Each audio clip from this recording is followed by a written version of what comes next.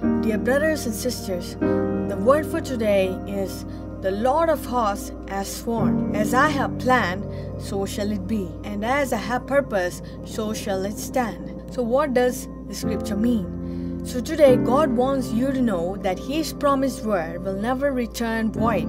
He spoke a promise over your life because there's a purpose for your life. He spoke the promise and He declared the purpose. It is a done deal. You have no reason to ever be hopeless or fear or depressed. Dear brothers and sisters, now we are going to meditate a few scriptures. Psalm chapter 4, verses 8 says like this In peace I will lie down and sleep, for you alone, Lord, make me dwell in safety.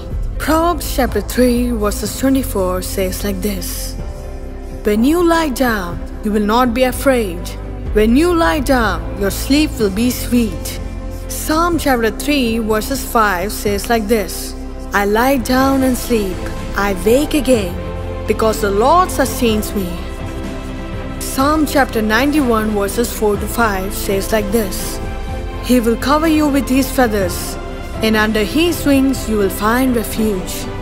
His faithfulness will be your shield and rampart. You will not fear the terror of night, nor the arrow that flies by day. God bless you all. God's grace and peace be with you all. If you have any testimony, share in the comment section. Please subscribe Sheena Paul YouTube channel. Like, share, and click the bell icon.